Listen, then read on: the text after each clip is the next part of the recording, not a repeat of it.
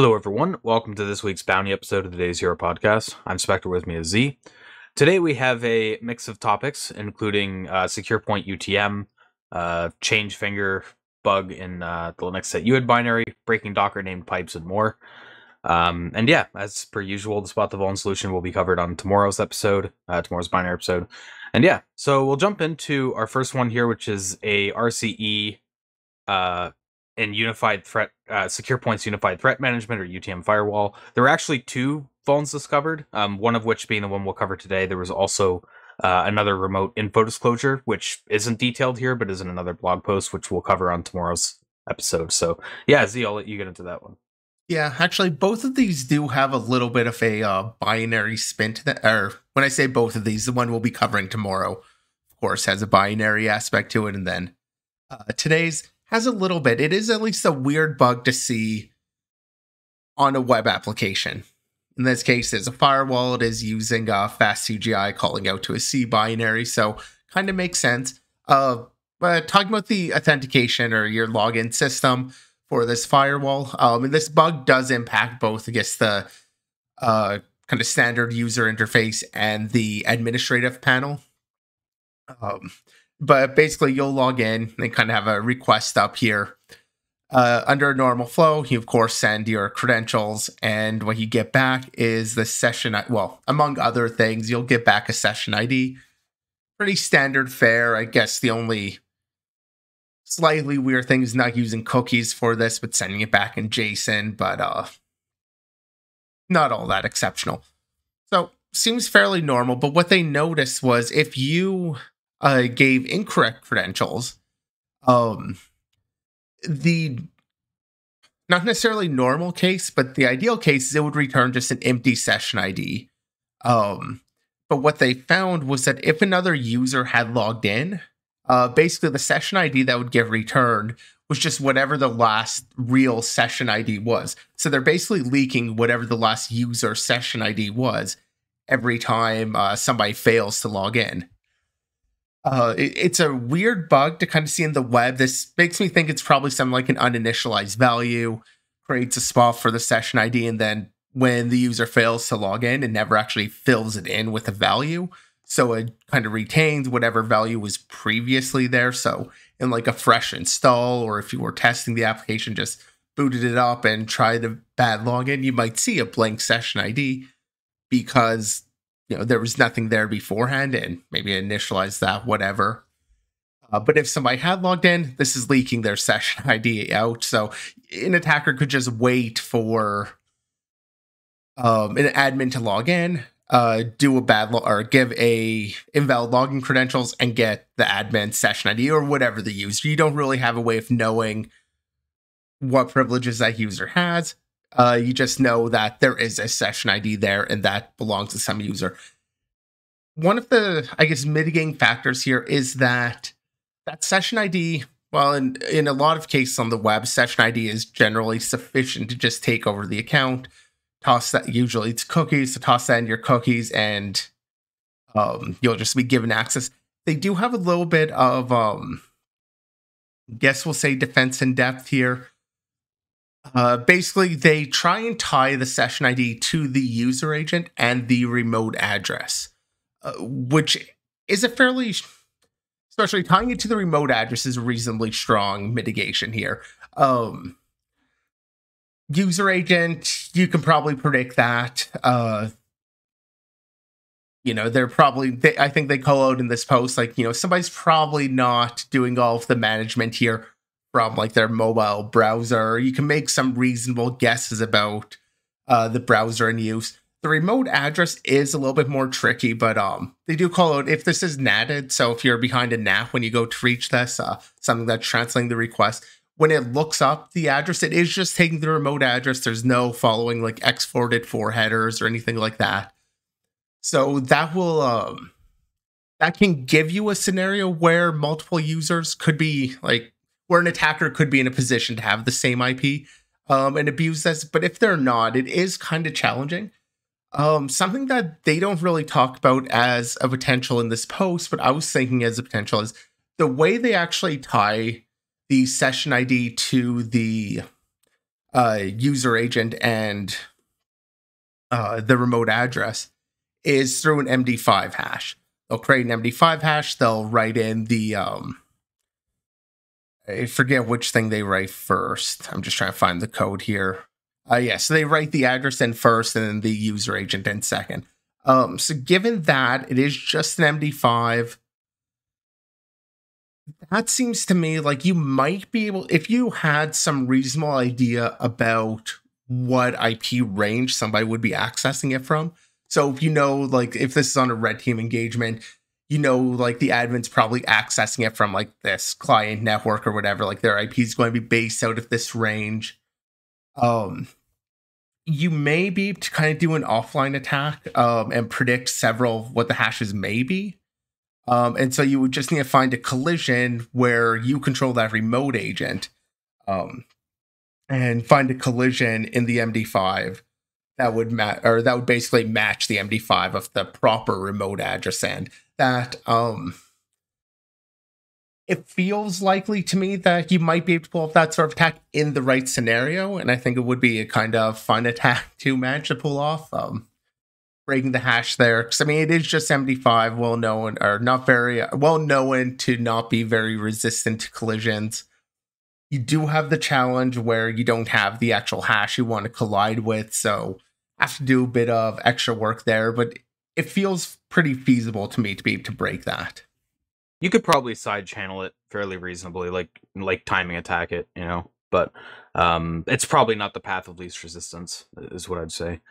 Um, but yeah, when it comes to the bug, uh, I had I j- I jumped to basically the exact same thing. I was like, this is probably like an, un- an uninitialized read on the fast CGI side of things, um, and especially like when you look at the second part uh, that we're going to get into tomorrow uh, it seems even more likely because I believe that was also an uninitialized use. So, yeah, uh, it's pretty interesting because you generally don't see this kind of mem corruption uh, type issue impacting the web that much. You don't really see that too often, but when it does happen, it's it's fun. So, yeah, and it's a pretty subtle bug to actually notice and to pick out. Um, because like just testing, you know, you fire this up, you test, you don't necessarily realize that the session ID being leaked is something that um because it, it could just be creating like an empty non-user session ID for you. Uh, so like the fact that it's there isn't necessarily a warning sign. So it's not easy to necessarily notice that um, that session ID belongs basically to another user. So it, it's a good spot from whoever found this. Yeah, you have to you have to like uh, go all the way through and, and test pretty thoroughly to confirm that this is actually an issue. It's it's pretty cool. Yeah, like the way I could kind of see it is if I were to have fired this up locally, done some testing, and been like, oh, the session ID is blank when I log in, like with an incorrect thing, and then go do a proper login and see what what it gives me. And then later on, coming back, I'm like, oh, why isn't this blank anymore? And having that, uh, uh, my understanding of the application kind of violated. Uh, that's one way I could imagine myself having noticed this, but it is something that I think easily could have been overlooked. Yeah. All right, so up next from Trustwave SpiderLabs, we have a change finger CHFN bug in Linux. Uh, the last time we talked about change finger finger was on uh, episode 189 when Trail of Bits disclosed the set UID logic bug in the readline library, which was was used by change finger, um, which they also link off to in this blog post, by the way. Uh, so yeah, CHFN is a fairly interesting target as you know where it's able to edit account information and such. Uh, it's a set UID binary and runs as root so they can modify etc password.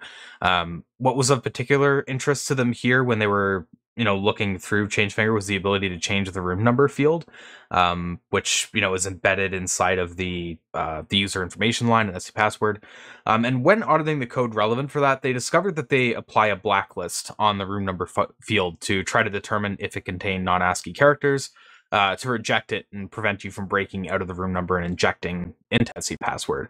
Um, so the, the two things that they blacklist, uh, I'm just going to bring it up on screen here. Um, the main things they try to prevent is like uh, a colon, uh, a comma, equal sign, and new line, as well as any non-printable characters. Um, as we usually bring up with blacklisting when covering topics on the podcast, it's generally not a great solution. If we're talking about it, it's probably because it failed to uh, to do what was intended.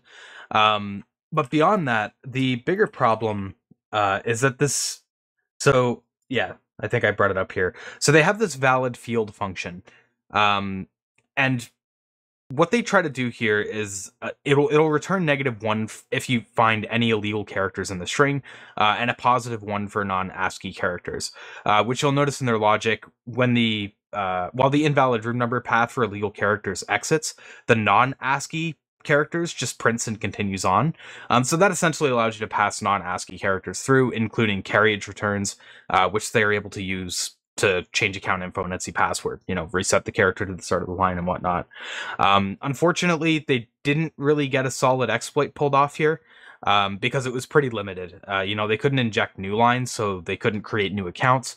Um, they also couldn't use colons and such to have proper, like a proper user info line. Um, the way they kind of go about it here is maybe um, combining this with a social engineering attack. Uh, so instead of putting like a colon in there, putting in another uh, Unicode character that looks like a colon, uh, and then you know their idea is maybe you could try to trick a sysadmin into looking at like etc password and using that to ver- like validate your credentials, even though you don't have any. Um, I don't know. It's a bit of a stretch. I, I don't think it's really uh, feasible, to be honest. Um, so it's a bit unfortunate the exploit didn't really work out. That said, I still wanted to cover this issue because it is um, a little bit interesting when you have like uh, non ASCII character input being able to go in. Um, you can do some like pretty interesting attacks there, and this uh, this attack with you know using carriage returns, um, it's kind of funny because it bit me recently somewhat. Um, not not so much in like I was being attacked with it, but I was getting strings that I didn't know how to carriage return uh, at the end of them, and it was like completely screwing like everything I was trying to do. It took me like an hour or two to debug it. So, um, yeah, I mean it's a fun type of issue to to try to like work with, but unfortunately, you know, while the blacklist wasn't sufficient enough to prevent you from breaking out, it was sufficient enough to prevent you from doing anything, uh, you know, super impactful with it. So yeah, it's it's definitely unfortunate that they couldn't take this to some sort of more meaningful exploit. I do think the idea of you know social engineering the sysadmin into reading the etc password file and being like, oh yeah, you should totally be root. Like that feels pretty unlikely to me. Um, there's almost certainly some better process in place for that. Uh, or you know, pretending that you got hacked or something. Like there's maybe some potential there on a whole, like, yeah, I don't see much impact to this bug, but it is an interesting bug just in the fact, um, like the root cause with the error numbers being returned, the uh, one versus minus one aspect. You know, in this case, this didn't turn out to be much, but that is something to kind of pay attention to when you do have, um, not just with error codes, but the change in return value that's kind of unexpected. So it does feel a little bit weird to um, switch the sign out for uh, that warning, I guess. I, effectively, what they're doing is saying, you know, if, if it's greater than zero, it's a warning. If it's less than, it's an error. But um, it, it is something to take note of and kind of look for. Unfortunately, it's a fairly common like anti pattern. Yeah. Yeah. Unfortunately, in this case, not much you can do with it, but you know, this sort of bug can definitely creep up elsewhere and it's something to be aware of. Like in this case, they are taking advantage of the structure of their kind of target file, of being aware of, you know, what it's supposed to do, what it's supposed to look like, and trying to break assumptions at that level, uh, which is something that a lot of web app testing, I mean, a lot of people just kind of leave as, well, you know, I broke out of the quotes and injected JavaScript or whatever, and have this very clear cut thing, whereas this is a lot more guess blurry of a line that you're crossing. Um, there's a lot more wiggle room to kind of come up with creative attacks in this sort of scenario. So yeah. it just feels like something that's worth calling out, even though this particular exploit wasn't wasn't that meaningful. All right, so uh, Symlink style attacks are back in the news with CyberArk's post on vulns and Docker Desktop for Windows, uh, including multiple arbitrary file delete and arbitrary file overwrite bugs, um, though they're both kind of tied together uh, on all of them. So, yeah, um, two areas were of main interest here that they investigated, being the Windows container uh, controller and the Hyper-V controller. Uh, so, starting off with the Windows container controller, Uh, there were two methods that they took note of uh, start and stop, which allows low privilege users to start and stop the Docker daemon. Um, and the start function would take this Windows container start request object's input, which is user controlled. Uh, and among these fields, they noticed the daemon JSON field. Um, and what that essentially is, it's it's for passing a path to the config file for Docker to use. Um, and you know especially when you're talking about config files you have more complex parsing going on you you have more uh, it, it's a pretty interesting attack surface to look at. So when they looked at the daemon json file uh, there were two fields they like narrowed in on um, one of which was the data root field which is where the first uh, vulnerability comes into play. Um, so data root is used for passing a path of where uh, to a directory that contains like container resources.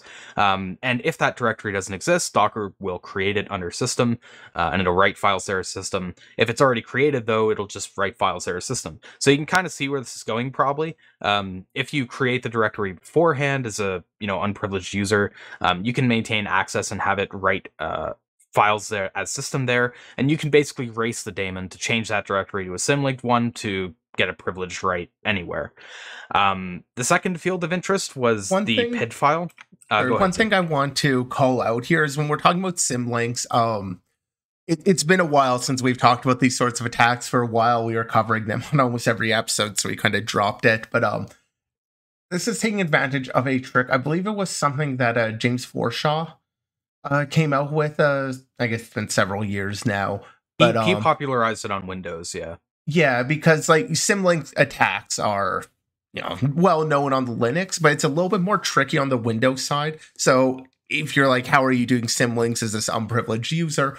There is kind of a technique for it. I'd recommend just looking. Um, I think the talk was something like a link through time. Um, but it's from James Forshaw. If you do like James Forshaw symlink, you'll almost certainly come across information about kind of how you do these symlink attacks on Windows as an unprivileged user.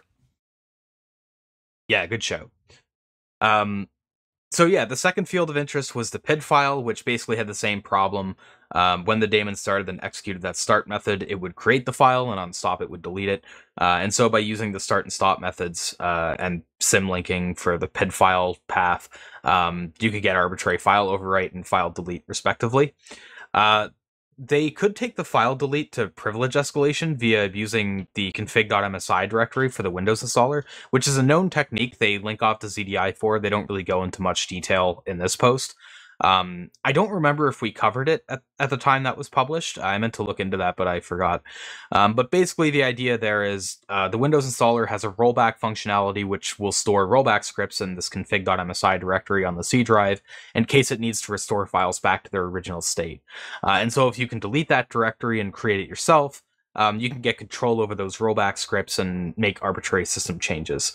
Um, so basically, there was some tricks. They could do the symlink style attack again, pass some benign PID file, uh, make a junction to you know the config.msi directory. Um, on Windows 10, they weren't able to get that to work um, because the directory had to be empty to delete it, um, and there were files there with like a random ID attached to it. Um, they say that they could have tried to brute force the names to try to delete all the files, as there were only like eight hex character names or whatever. So it's not like it would be impossible to brute force. Um, but instead, for the and like all intents and purposes of the blog post, they just checked on Windows 11, and Windows 11 didn't have the config.msi directory, so it worked there without any added steps. So yeah, um, not that it would be impossible to exploit on Windows 10, but I, I figured I'd point that out. Um, there were also some other issues in the Hyper-V controller. Uh, again, I'm not going to iterate on it too much because they're basically the same style of issue. Um, they had similar problems in the create and destroy methods. Destroy had a problem where it would take a disk path, which again could be attacker controlled from that input object, um, and and delete like destroy would delete it uh, again vulnerable to the symlink where you could just delete an arbitrary file and create had the same issue in reverse. Um, it would create this docker desktop uh, virtual hard disk file uh, based on the data path which could be attacker controlled. So yeah um, basically just a lot of variants of the same sort of bug. Um, they just don't really check for you know junctions or, or symlinks on any of these paths that they parse. Um, so yeah and it's yeah I mean, that's that's basically all there is to it. There isn't uh, there isn't too much complicated there.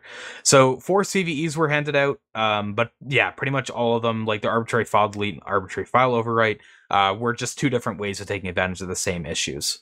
So yeah, and honestly, they're fun attacks. I do like seeing these symlink issues they're pretty easy to kind of follow as long as you're familiar with the symlink and stuff. And I did add a link in the notes to uh, Project Zero post. I guess that does go back to 2015, so it, it's a little bit older than I was uh, I was thinking it was. But um, but yeah, I've I mean, been flying lately. I don't know why. yeah, it still it's a fun set of attacks, and we haven't talked about these in a pretty fair while. So I I think we stopped talking about these attacks uh back when we were like before we even did the split to, uh, from bounty and binary episodes so it's been Yeah. quite a while since we've covered these sort of uh junction attacks or symlink attacks Yeah, I mean, this is a little bit uh, off topic, but it's kind of funny because I was talking with someone uh, on Discord about this. But in the security space, like it's super common to see trends take off where it's like, uh, you know, a few different researchers or whatever are looking into like one class of issue, and then other people notice that and take inspiration from it. It, it kind of like snowballs, and you end up with a lot of posts finding uh, similar issues in different products.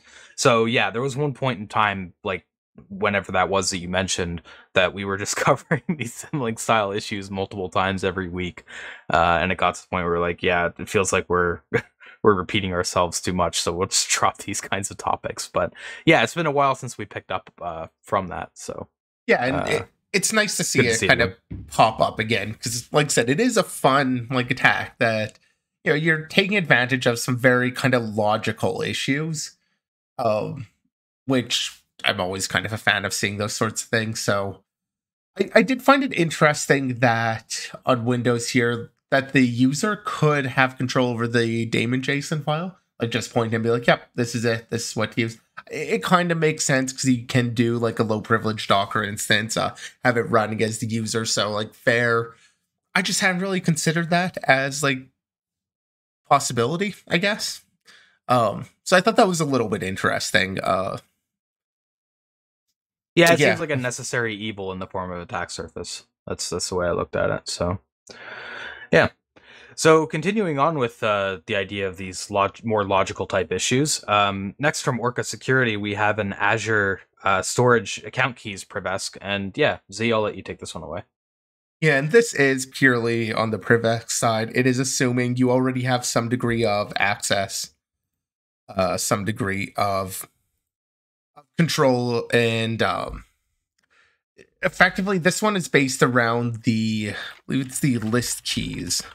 Uh, so with storage accounts, um, create a storage account by default. What Microsoft will do is it will create these uh, storage account keys and these two keys, couple 512 bit keys for whatever. Um, I'm just trying to find where they talk about the actual keys in here, but um, effectively these keys are how you can authenticate and actually access uh the data being held by the storage account. So create the storage account. It has these couple keys that are like your root or like complete access to all of their data.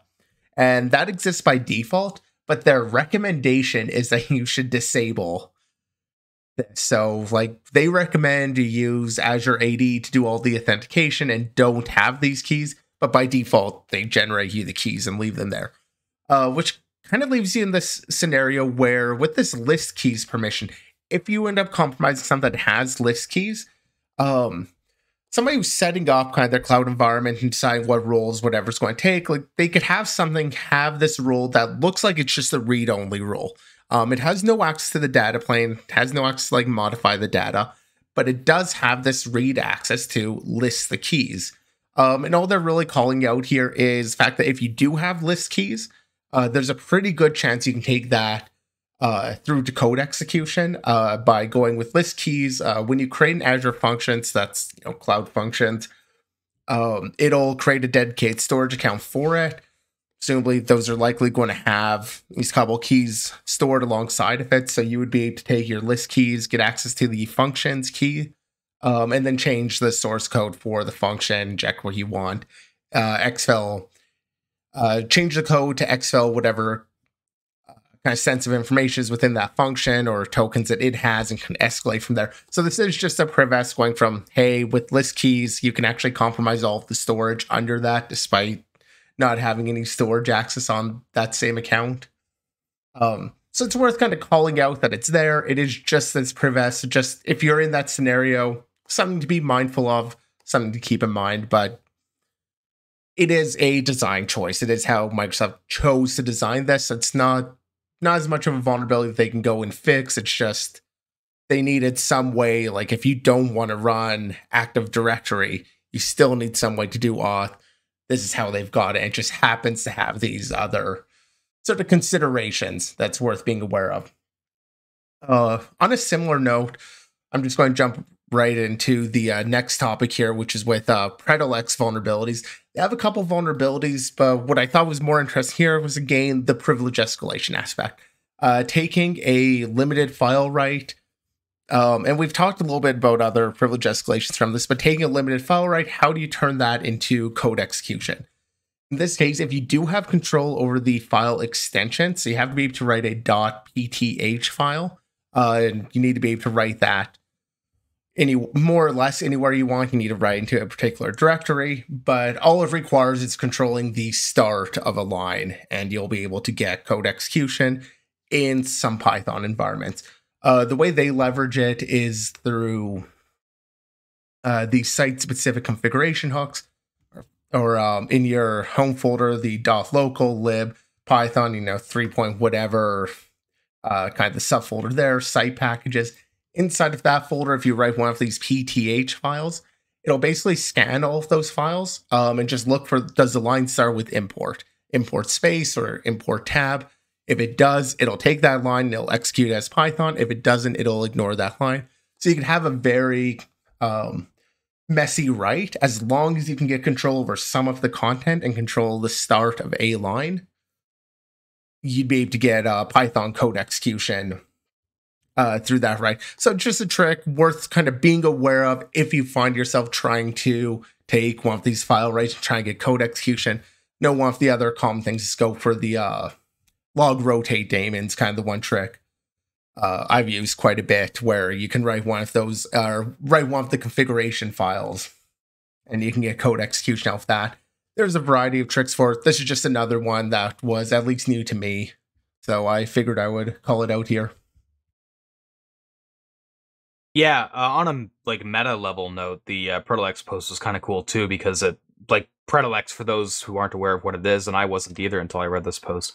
Um, it, it's mainly used for conference planning, um, so that's why the name of the post is "How to Get Accepted at Every Conference," is because a lot of conferences like OffensiveCon, Hexacon, um, and a variety of others uh, use Pretalx for you know doing like CFPs and stuff like that. So um, I thought that was kind of a cool aspect to it, like you know, because we cover like conference stuff uh, a fair a fair bit, and uh, it, it's fun when you see those types of issues impacting you know security focused uh, organizations and stuff. So.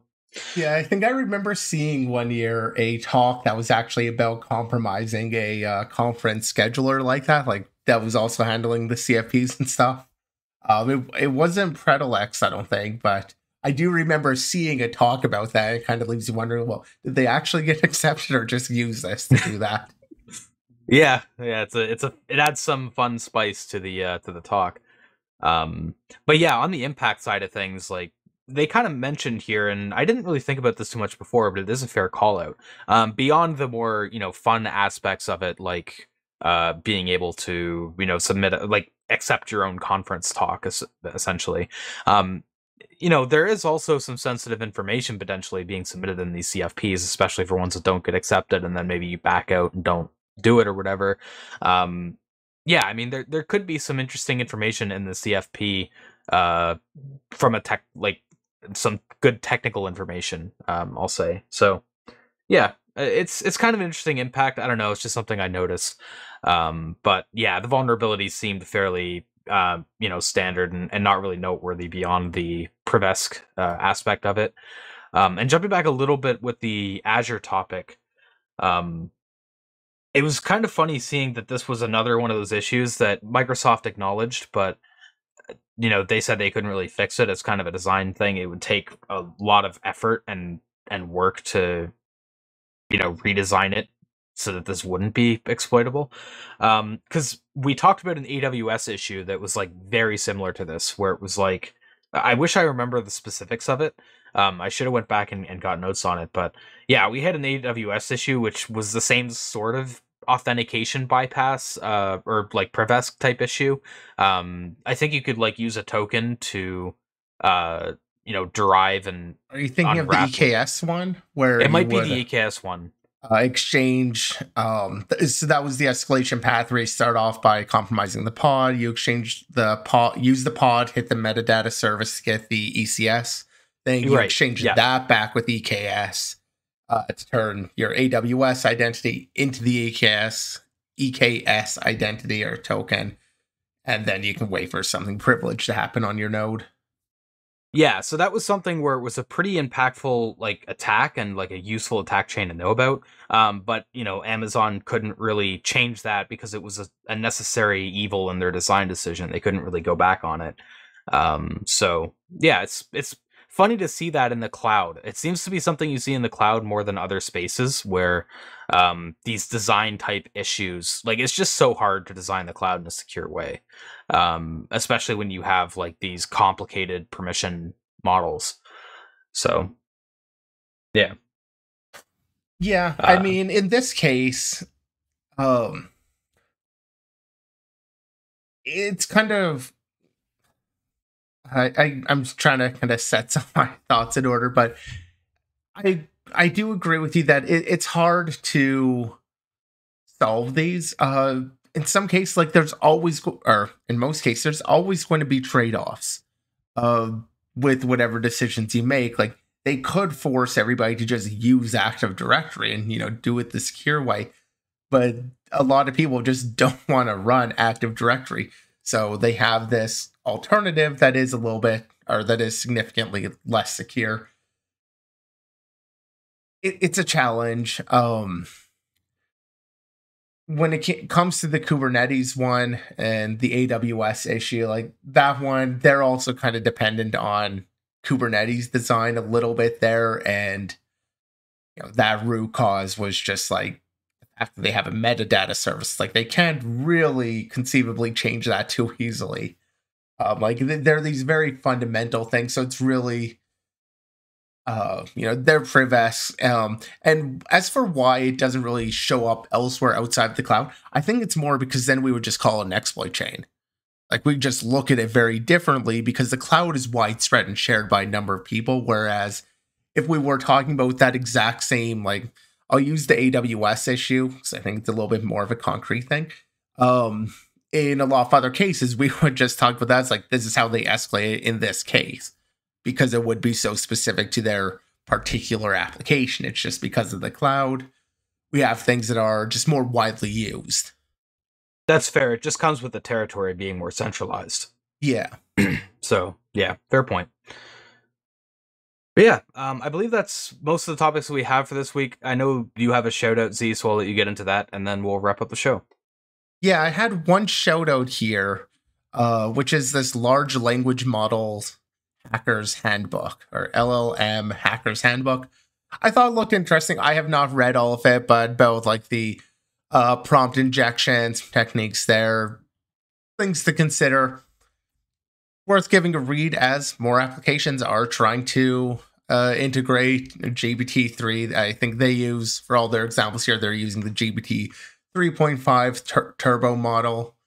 Um, but effectively, they're using GPT 3.5, um, which a lot of places are starting to try and integrate. So, worth looking at as prompt injection on the offensive side, a little bit on the defensive side too, which I actually do want to take a look at uh, because a lot of this seems really hard to defend against. Uh, but yeah, just something to take a look at. Um, like I said, I haven't given it a full re- read, so I can't say it's like this great resource, but it seems pretty solid at a glance. Yeah, I think we've seen maybe one or two topics that touch on, uh, you know, like GPT um, being used for some application and it being vulnerable because of it.